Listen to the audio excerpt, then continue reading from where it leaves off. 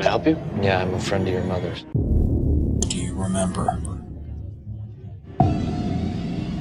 It's been 27 years.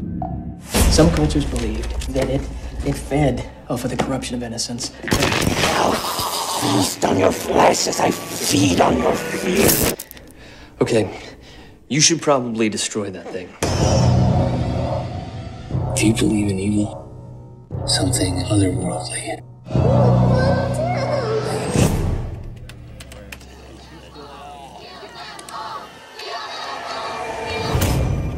Hey, Bevy. Sometimes bad things happen. It's the kids. He gets the kids.